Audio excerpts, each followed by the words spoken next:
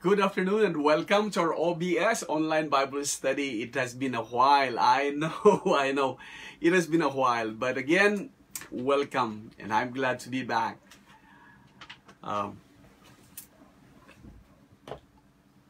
much that I would that we could have, if we could continue our broadcast, or we could have broadcast last time. There were a lot of things that I need to attend to, and oh, these online classes and online studies giving us some headaches. And most of the teachers are having some nightmares and terrible times. But we will get to this. We'll we'll we'll get through. Okay? So let's go back now to Romans chapter 1 and we'll be dealing with the book of Romans and I I may for the time being be able to impart to you some of the verses. I know it would take a lot of time for us to discuss the book of Romans. So, as we have studied from past lesson that others consider the book of Romans to be the most important letter ever written. And some others believe that the book of Romans alone or the book of Romans itself is enough for one to read and find salvation. Is enough for one to to just have and enough the, the details or the things that need to be known are there unto salvation. That is an overextension, so to speak. Yes, it is the most important book ever written for some, but it is not complete or it is not the gospel. It is not the only book needed for one to read to know all about salvation. Um, the gospels are there. And saying that, let's just move on. Let's just read the book itself. Okay? The book starts with chapter 1 and chapter 1 verse 1 here's our reading on that. Uh, my my clicker is not working. Okay. So here is chapter 1 of the book of Romans, verse 1.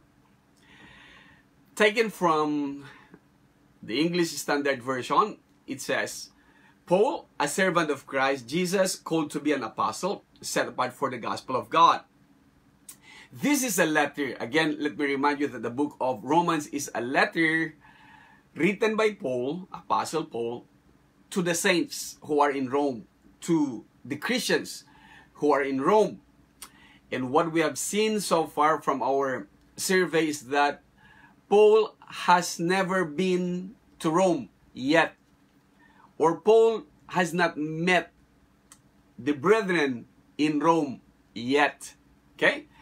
So, the style of writing, as we could see it from Paul's letters or the Pauline epistles, is that the author or the writer will always make himself known before his addressee.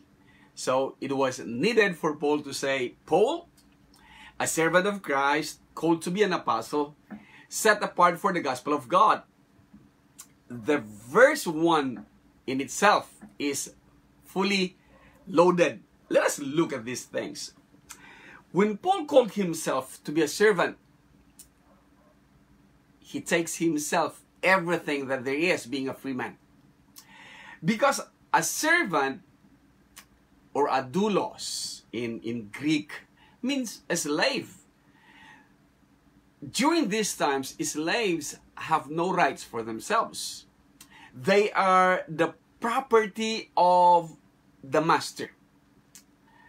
They are at the master's own disposal. They cannot own anything. They have no right for themselves. But they are dependent upon their master. Whatever the master's will is, that the slaves must obey. So when Paul introduced himself to be a doulos, to be a servant, of Christ. He is making known to the brothers, to the brethren in Rome, that he is a property of Jesus. And Rome, being the capital of the empire, knows and understands that.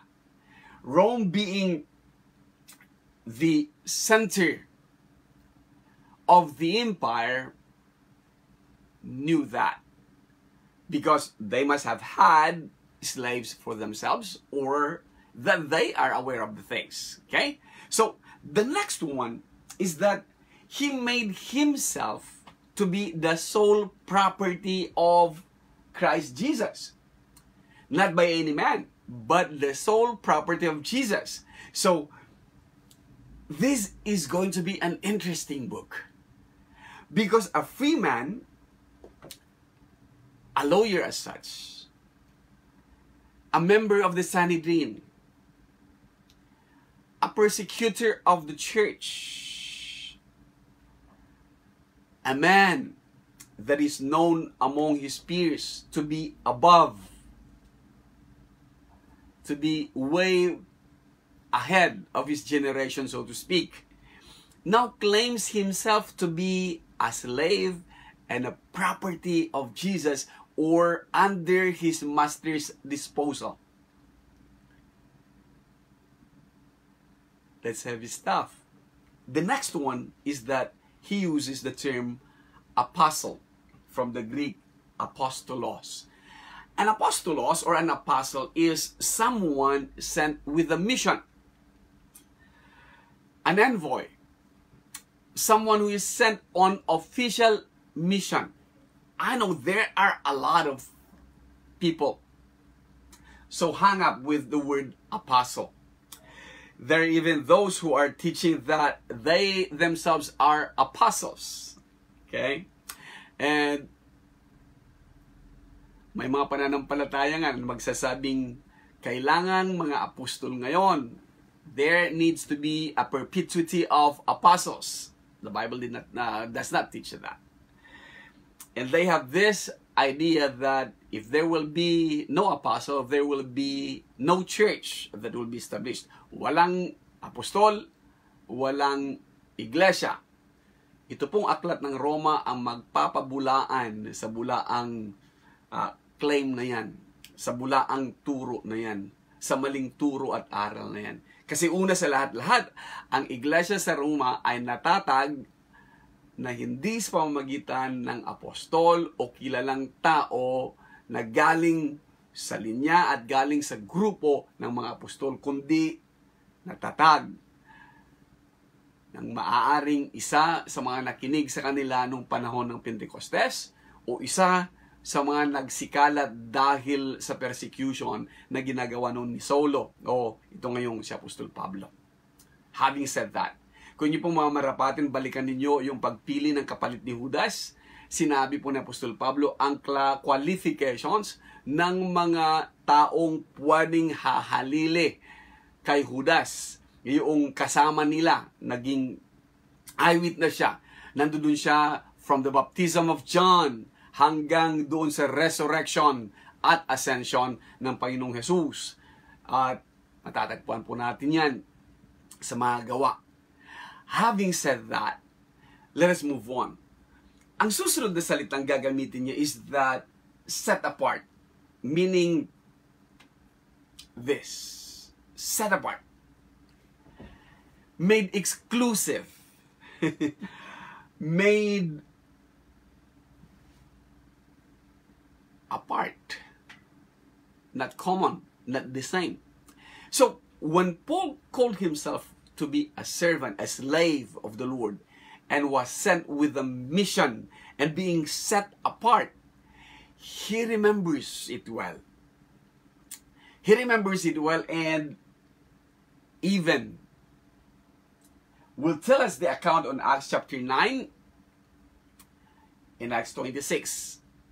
Even before the Roman officials, he would always say that of his Damascus incident wherein Jesus called him, setting him apart to be the apostles unto the Gentiles. Okay? So, let's move on. In verse 2 it says, which he promised beforehand through his prophets in the Holy Scriptures. Beforehand. He promised beforehand through his prophets. He promised beforehand that it should be in, in verse next verse concerning his son who descended from David according to the flesh. So it is all about Jesus. Paul being chosen to be a slave set apart and sent with a mission to the Gentiles will all be about Jesus. All the things that he will be dealing with is about Jesus. That is why when you come to uh, 1 Corinthians, he will always say, For I resolve to know nothing except Christ and him cross, uh, crucified. So those things are. So in verse 3, he made sure that he's being set apart, he's being sent, and he's being the sole property and the disposal of his master Jesus is for this. So concerning his son, who was descended from David according to the flesh, and it rings to us Matthew chapter 1 verse 1, the book of genealogy of Jesus Christ, the son of David, the son of Abraham.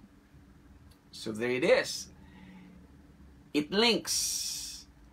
And was declared to be the Son of God in power according to the Spirit of holiness by His resurrection from the dead, Jesus Christ our Lord. This is heavy stuff. Not only was he made mention that the son descended from David according to the flesh.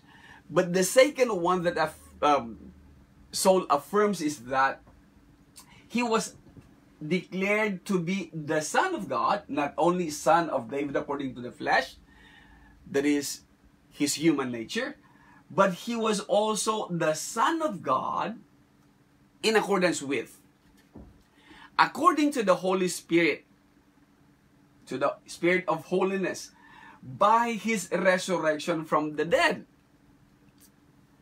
The final proof of Him being the Son of God is that when He claimed, just like in the prophecy, the Lord says to my Lord,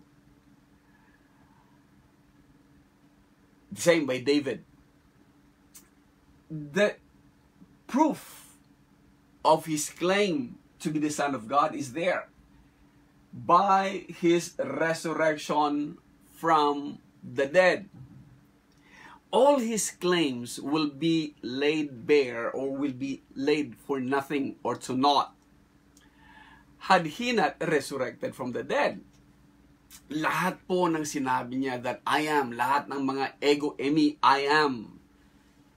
The way, I am the truth, I am the light, I am the good shepherd, I am, and all of those I am will be nothing if death holds him in the grave. Mawawalang saysay ang lahat-lahat ng claims ni Jesus. Mawawalang saysay ang lahat-lahat ng mga bagay-bagay na sinasabi niya patungkol sa kanya at patungkol sa kanyang ama. Mawawalang saysay yon kung nanatili siyang nakabaon doon sa kanyang libingan ang naging pinakamalaking patunay kung sino siya ay yung kanyang pagkabuhay na maguli. Yung kanyang pagpapakita that death has no power over him. Yung kanyang makikita natin that it goes back doon sa 315 yung first messianic prophecy sa Genesis chapter 3.15 na nung sabihin ng Panginoong Diyos that I will put enmity between you and the woman, between your offspring and her offspring. He shall bruise your head, and you shall bruise his heel. Yung offspring na pinag-uusapan doon ay patungkol sa Panginoong Jesus. yung bruising the head of the serpent. Ay yung kamatayan na idudulot niya or yung you shall bruise heel, yung kamatayan na maibibigay ng Diablo sa kanya by making him crucified.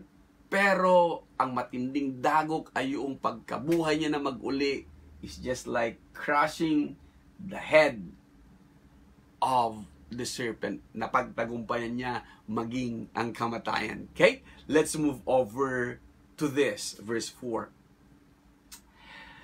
The same thing, itong sinasabi niya, the Son of God, in power according to the Spirit of holiness by His resurrection from the dead, it re-echoes also yung napag-usapan na natin, napag-aralan na natin doon sa sermon ni Pedro during the Pentecosts. When Peter said, Let all the house of Israel, chapter 2, verse 36 of Acts, therefore know for certain, walang pagdududa, know for certain, with cer- uh, certainty, with wala talagang uh, beyond the shadow of any doubt. Uh, ganun na lang sana sabihin natin, legal term. Know for certain that God, the Son of God, God has made him both Lord Curious and Christ, the Messiah, this Jesus whom you crucified. Walang pag-aalinlangan. Sabi ni Apostol Pedro, ginawa talagang Panginoon at Kristo itong si Jesus na inyong ipinako sa cross. Nagjajive ang bawat isa. Nagsasama at nag nagkakaroon ng ng unawaan at nagkakaroon ng ugnayan ang mga bersikulong nababanggit. Okay? Verse na kasunod. Ito'y patungkol kay Kristo na gusto kong makita natin bago ko pumunta doon. Ano? Uh, yung pagiging anak ng Diyos, ng Panginoong Jesus, He was declared to be the Son of God. Sa ibang parte ng kasulatan na sinulat ni Apostol Pablo, siya pa rin ang may akda nito sa Filipos, Kabanatang 2, talatang 5 hanggang pababa. Napakaganda po nitong mga, mga bersikulo o mga talatang ito na inyong titingnan na ating uh, hihimayin sumandali. Sabi niya doon, have this mind among yourselves, which is yours in Christ Jesus. Sana meron kayo nitong ganitong kaisipan, gayong kayo ay na kay Kristo Jesus though, nabagamat, even though, the top what? He was in the form of God. Maalala yung John chapter 1 verse 1. In the beginning was the Word, and the Word was with God, and the Word, the Word, the Word, the Word was God. Ito siya. He was in the form of God. Hindi lang form, But John says he was God from the very beginning. Pero ang gusto kong makita natin is that did not count equality with God a thing to be grasped. Ano oring isipan yan? He did not count equality with God a thing to be grasped. But anong ginawa niya? He emptied himself by taking the form of a servant being born in the likeness of men. Sa mga hindi naniniwalang si Kristo ay Diyos, magkaminsan ito yung pinag-uusapan natin at pinagdidebatehan na bersikulo. Sa mga hindi naniniwalang si Kristo ay Diyos or divine or deity, ito lagi. Kung natagpuan siya sa anyong Diyos, ano siya? Kasi nung natagpuan siya sa anyong tao, to, being found in human form, nung natagpuan si Jesus sa anyong tao, ano siya? Tao. Eh nung natagpuan siya sa anyong Diyos, ano siya? Tao pa rin ang kanilang isasagot. But then again, kapag ka maging honest nga po tayo sa pag-aaral ng mga bagay-bagay na to, tanggapin natin kung ano nasusulat. So ulitin natin, He was in the form of God. So, what was He? John said, He was from the very beginning with God and He was God. He was in the form of God, but did not count equality with God a thing to be grasped, but emptied himself by taking the form of a servant. When he took the form of a servant, being found in human form, that form of a servant there, he humbled himself by becoming obedient to the point of death, even death on a cross. What a mighty God we serve! What a God He is! After He emptied Himself, because if He stayed being God, paano mo ipapako? But He emptied Himself and took the human form so that He can be obedient to the point of death. Even yung pinakamasaklap na uri ng kamatayan, yung ipapako ka sa cross. Na ang bukod tanging binapat, uh, pinapatawan ng ganitong uh, parusa ay yung pinaka sa lahat ng mga pinaka ng mga kriminal. Yet, He being perfect, He being faultless, when He took our sins, siya yung naging scapegoat natin. Siya yung nagdala ng ating mga kasalanan doon sa cross. But for that, for for other, uh, napag-aaral na po ito. Pero inuunahan natin. So, even that, death on the cross. Therefore, dahil sa ginawa niyang yon, kaya it goes back to Romans chapter 1 verse 5 or verse 3 and 4. Dahil sa ginawa niyang yon, dahil dito sa mga bagay-bagay na pag-uusapan, because of these things, therefore, God has highly exalted him and bestowed on him the name that is above every name. Purposely, so that the name of Jesus, at the name of Jesus, every knee should bow in heaven and on earth and under the earth, and every tongue confess that Jesus Christ is Lord to the glory of God the Father. There it is. Echoes back Romans chapter 1 verse 4. And here is now. Paul continue, continues saying, through whom we have received grace. We will be dealing a lot of these things. In the book of Romans, and even in Galatians, and some other books, we will be discussing Ephesians for that matter. We will be discussing a lot about grace. And we will deal a little bit longer on this. To know grace, grace is an unmerited favor. Grace is a gift. Grace is something not earned. Grace is freely given. Kaya mali yung sasabihin mong, nasaan ang regalo ko? So, hindi na regalo yun kasi you're demanding a gift. Or, kaya din hindi maintindihan ng mga kabataan magkaminsan what grace is, ano ang biyaya, ano ang gift, at ano ang reward. Sasabihin ng, ng mga magulang magkaminsan, o sige anak, magpagbuti mo pag-aaral mo, pagka may honors ka, bibigyan kita ng regalo. Hindi po regalo yon. That's a reward. Kaya dito pa lang kailangan maintindihan natin, ang free gift is free gift. Unexpected. Ibinigay sa iyo. You don't deserve it. That's grace. But if you work for it, if you were conditioned, there are conditions to be met, there are things that you need to be doing to receive that, that's no longer gift. That is a reward. Dapat ngayon pa lang maintindihan natin itong mga bagay-bagay na to. Sabi ni Apostol Pablo, through whom, through Jesus, we have received grace. Undeserving. Paul, why are you persecuting me? Undeserving si Paul. By no means, ibibigay ko sa kanya. If I be, kung ako lang masusunod, hindi siya. Kasi nga, ang purpose niya is usigin ang church. Yet, Paul will be telling us that in some of his um, epistles. So for now, ang sasabihin lang ni Apostol Pablo sa atin ay, through Jesus Himself, we have received grace. Tinang, tumanggap tayo ng biyaya. Tumanggap tayo ng unmerited favor. Tumanggap tayo ng bagay that we don't deserve. Plus, apostleship. Being sent with a mission to bring about the obedience of faith. Nakakatuwa ito. Itong bagay na yan. To bring about the obedience of faith for the sake of His name among all the nations.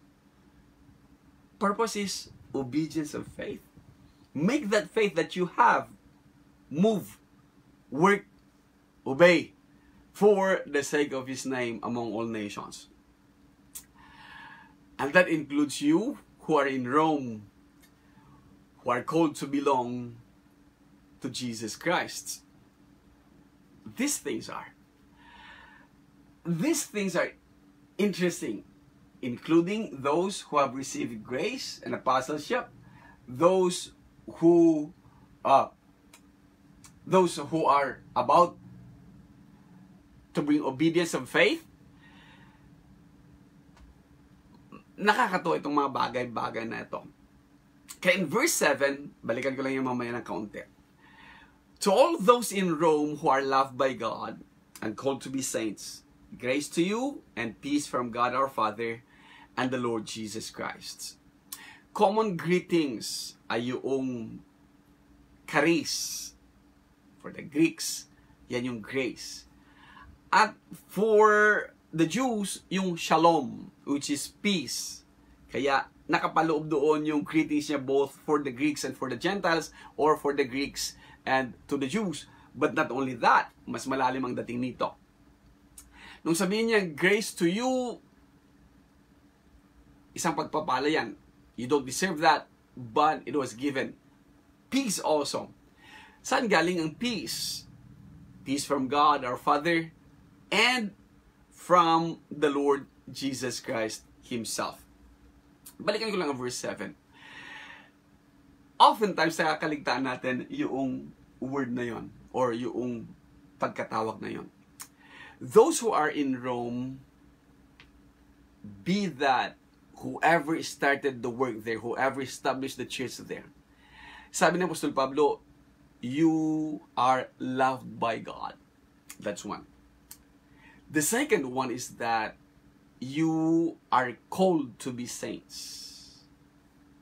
Now, may paliwanag ko na sa inyo yung saints. Ah, the term, the same term na called to be saints is evident also in 1 Corinthians chapter 1, 2, and 3. To the church of God that is in Corinth, to those sanctified, separated in Christ Jesus, called to be saints, together with all those who in every place, that includes Rome and other places, call upon the name of our Lord Jesus Christ. Look at this. Both their Lord and ours. What Paul is trying to say is there is no difference between the Christians in Rome and the Christians in Jerusalem. There is no difference between the Christians of old and the Christians of today. Their Lord and ours. All of us have been separated, sanctified, made holy. We've been called to be saints, sanctified, holy, separated. The same word. Naglalaro siya ng mga, ng mga words. Grace to you and peace, the same thing from God our Father and the Lord Jesus Christ. There it is. Saints hagios, holy. Called to be saints, called to be holy. Called to be holy, sanctos, sanctified. Holy din ang ibig sabihin nun. Play on word. Play on word. But the same thing. We are called saints. Hindi po mga patay yung mga saints. Sa banal na kasulatan, ang mga saints, ang mga sanctified, nahihiwalay o nakahiwalay. Sanctos, sa Latin yun ay holy. Pero dito, interchangeably ginamit ng Apostol Pablo. para ipakita ang tunay na kalagayan ng mga Kristiyano ng mga mananampalataya sa harapan ng Diyos. We have been called, we are sanctified, called to be saints, holy. Okay? Next one. Verse 8. As he starts his letter, Paul wrote, First, I thank my God through Jesus Christ for all of you. Because your faith is proclaimed in all the world. Meaning, naririnig what you're doing, what you believe, your faith is being proclaimed in all the known world, in all the entire empire. And he will continue to say, For God is my witness, whom I serve with my spirit in the gospel of his Son, that without ceasing, I mention you always in my prayers. It was he who said, Pray without ceasing, and he practiced what he preaches. Asking that somehow by God's will I may now at last succeed in coming to you. It is evident that he longs to go to Rome. It is also evident that he practices what he preaches. Yet in all of this, even if he says, I prayed without ceasing, I continued on asking God, continually ask God that I could be allowed to see you in Rome. And even his appeal to appear before Caesar, God paved the way for him to reach Rome. So he still depend depends on God's will. Verse 11. For I long to see you that I may impart to you some spiritual gift. Listen, that's singular. That I may impart to you some spiritual gift to strengthen you. Others would agree, others would argue that these are miraculous gifts. But whenever we talk about gifts or miraculous gifts, plural lag yon.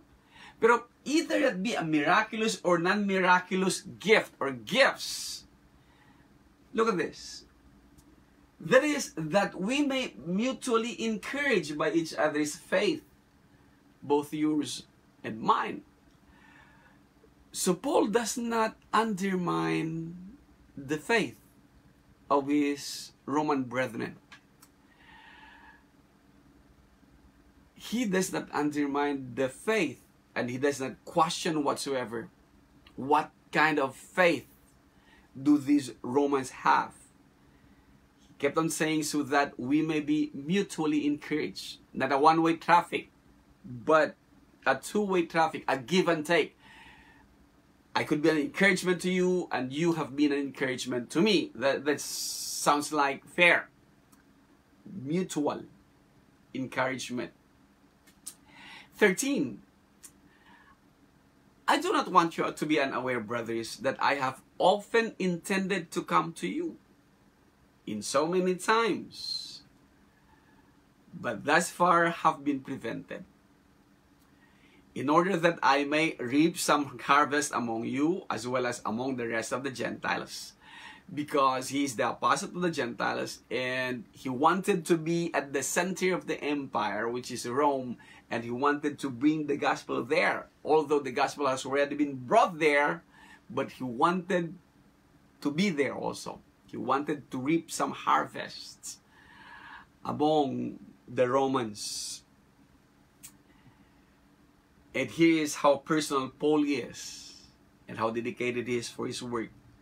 For I am under obligation both to Greeks and to barbarians, both to the wise and to the foolish. Look at that under obligation. It is my obligation, it is my duty. For Paul, it was. And he would say Philippians 1.16 that he is placed there for the defense of the gospel. And he would also say, Woe unto me if I preach not the gospel. Look at this guy, his dedication to his work. His dedication being a servant at the master's own disposal sent with a mission, and then set apart he understands that. He knows fully well who he is and what his work is all about. So verse 15, and I'll just finish it with verse 17. So I am eager to preach the gospel to you also who are in Rome, as I have done to other places as part of his obligation to the Greeks and to the barbarians, to the wise and to the foolish. He too is longing really to go to Rome. And then in verse 16 and verse 17, as what we have studied before, or as what is being part of our key verse or verses in the book of Romans, again, Paul made this. For I am not ashamed. There is nothing wrong about the gospel. But for the Greeks, a dead hero is a nothing. He's worth nothing. And he's preaching a dead but resurrected hero. So Paul says, For I am not ashamed of the gospel, for it is the power of God for salvation. It is the dunamis of God. It is the dynamite of God. Yung power na ginamit doon. The power that is being used there in Greek is dunamis, where our term dynamite comes from. It is God's dynamo, God's power, God's dynamite for salvation to everyone who believes.